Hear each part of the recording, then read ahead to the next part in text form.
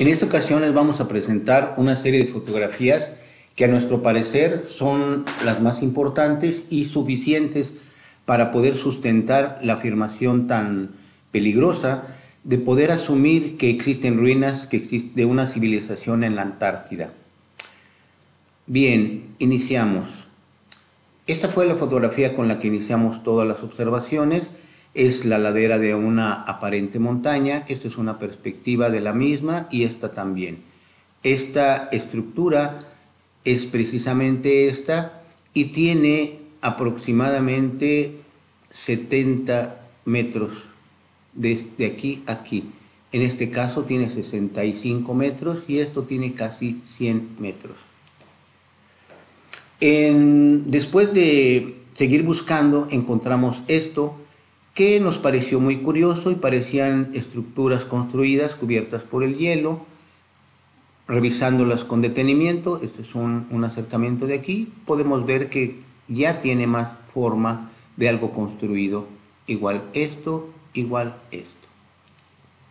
Esta fotografía nos pareció muy interesante porque es un conjunto de formas y estructuras, esto que pareciera un ducto, y esto que lo vamos a encontrar en muchas fotografías que parece un patrón de un panal de abejas. Acá encontramos algo que nos recuerda a unas ruinas de europeas.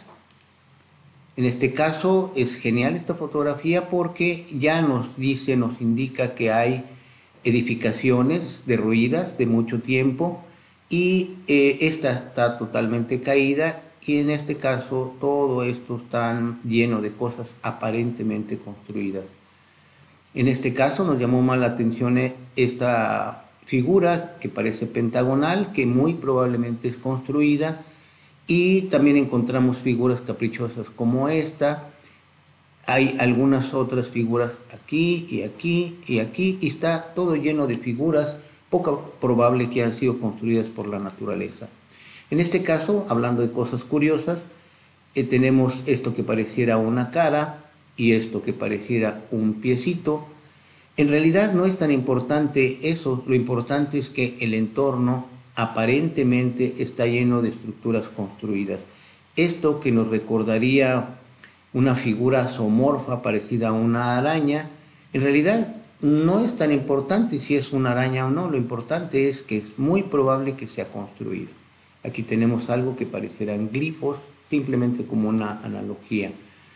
Bien, esta nos interesó, nos llamó la atención porque existen, están aisladas estas estructuras, no estaban en un entorno donde había más edificaciones derruidas. Y también podemos ver estas estructuras que pudieran parecer obra del pixel, pero estas no. En realidad ninguna de estas, todo parece ser que son estructuras construidas. En este caso, otras de estas edificaciones que parecieran que están caídas, derruidas también, lo mismo acá. Y volvemos al patrón de tipo panal y estructuras tipo glifo. En este caso le llamamos domo simplemente como una referencia para poder explicar. Esto que pareciera una carita viendo al cielo en realidad no es tan importante o que pareciera un platillo volador roto. Tampoco lo importante es que esto está construido. Todas estas partes se ven en la, el patrón tipo panal y aquí tenemos una, lo que parecía un pedestal capitado por una esfera. No sabemos qué es ni para qué sirve y esto tiene de extensión más allá 1.5 kilómetros. Esto tiene como 700 metros y también es un domo y tenemos estructuras aparentemente construidas. Esto sí es una obra de perspectiva o quizá manipulación de la fotografía. En este caso tenemos eh, dentro de los domos y simplemente para comparación, aquí tenemos un patrón muy diferente, son como si fueran ventanales. Y está dentro de domos, aunque pareciera aquí deprimido, no, en realidad es hielo que lo está cubriendo y tiene unas cualidades o características tipo domo y también tenemos otra cosa que nos llamó la atención, poco probable hecho por la naturaleza. En este caso, que le llamamos también como referencia tipo galerías, pareciera una edificación caída y esto la cresta de un edificio. Sin embargo, más adelante o en otras fotografías podemos comprobar que esto está hueco y parecieran túneles o galerías.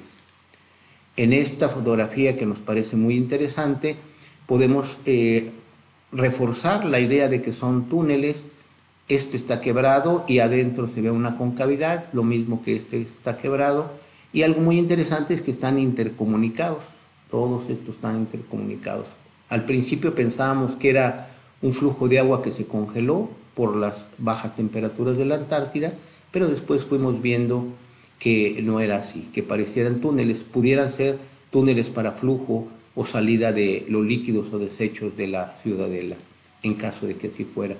Aquí tenemos como glifos, tenemos varias figuras muy interesantes, como esta que nos recuerda alguna estructura que traían personajes en los relieves de Egipto, y lo volvemos a ver acá, y tenemos acá esas figuras muy caprichosas, esta muy parecida a esta, y aquí una estructura emergiendo. En este caso, aun cuando pareciera una fotografía muy mala, lo interesante es que se ve que tienen altura algunos de sus glifos. Este no, es, no se ve tanto la altura, pero aquí podemos comprobar que incluso tienen profundidad y volumen. En este caso nos llama mucho la atención esto porque hablábamos de aquellos como glifos o figuras homorfas. Eh, lo interesante es que tiene muchos metros, tiene decenas de metros y está cerca de unas edificaciones o aparentes edificaciones caídas. En este caso, que es prácticamente lo último, tenemos algo que pareciera una aeronave. En realidad no parece que fuera mm, propiamente una nave espacial, simplemente es una estructura que pudiera ser construida y que quedara aislado en esta que pareciera una especie de concavidad o cueva y eh, pudiera ser también un señuelo que fue utilizado para eh, que tuviéramos, echáramos a, volar nuestra imaginación. Sin embargo, ese señuelo sería simplemente para ocultar que está rodeado de estructuras construidas, muy probablemente construidas, y esto que parecieran los que recordamos como glifos, y aquí se ven otras eh, crestas saliendo, y esto también que tiene características construidas si hablamos de cosas sensacionalistas, entenderán por qué. Esta fue la primera fotografía cuando llegué, cuando iniciamos las observaciones. Y em, si hablamos de algo sensacionalista, esto, vean esto.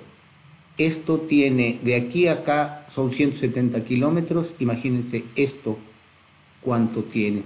Hablamos, si nos parece mucho, 170 kilómetros, pero en búsquedas aleatorias alrededor de este sitio y mucho más para allá y para acá, encontramos que son cientos de hectáreas donde encontramos estructuras muy caprichosas, poco probable que sean hechas por la naturaleza.